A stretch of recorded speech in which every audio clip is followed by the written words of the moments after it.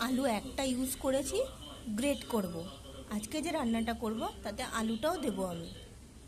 এটা হলো এটা হলো কাঁঠালের বীজ। আজকে যে রান্নাটা করব, তার মধ্যে কাঁঠালের বীজই আমি গ্রেট করে দেব। এটা হলো লাউয়ের খোসা।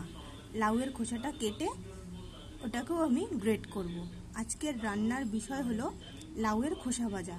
কিন্তু একটু অন্য রকমভাবে লাউয়ের খোসাগুলোকে আমি গ্রেট করে নিয়েছি, আলু গ্রেট করে নিয়েছি, কাঁঠালের বীজটাকে গ্রেট করে নিয়েছি, এছাড়া এর মধ্যে কাবলি ছোলা নিয়েছি, লঙ্কা কুচি নিয়েছি, নিয়ে এটাকে আজকে আমি আপনাদের একটা নতুন রেসিপি দেখাচ্ছি।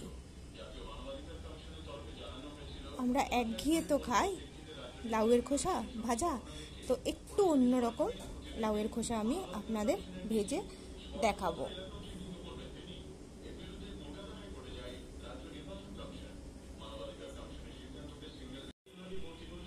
গ্রেট করা লাউয়ের খোসা, আলু,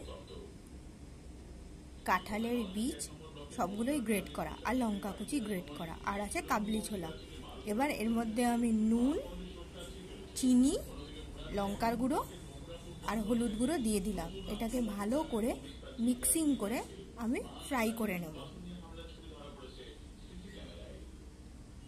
গরম ভাতের সঙ্গে খেতে কিন্তু অসাধারণ লাগে। তো আপনারাও এরকমভাবে বানাতে পারেন। সর্ষের তেল দিয়েছি আর দিয়েছি জিরে।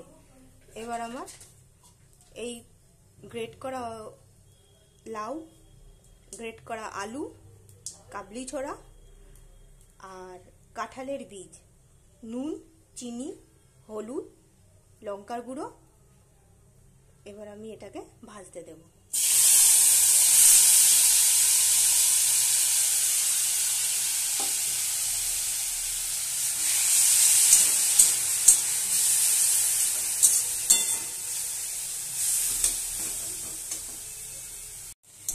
রান্নাটা কিন্তু আমি অল্প তেলেই করছি।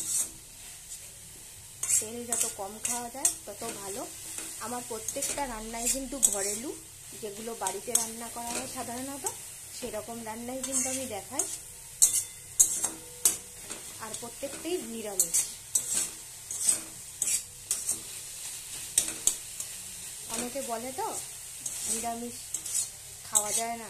কিন্তু নিরামিষ যারা খান তাদের কিন্তু এগুলো খেলে ভালো লাগে। এমনি যারা নিরামিষের দিন খান, যেমন শনিবার, সেগুলো কিন্তু এগুলো রান্না করতে পারেন বলতে গেলে হাটকে তরকারি।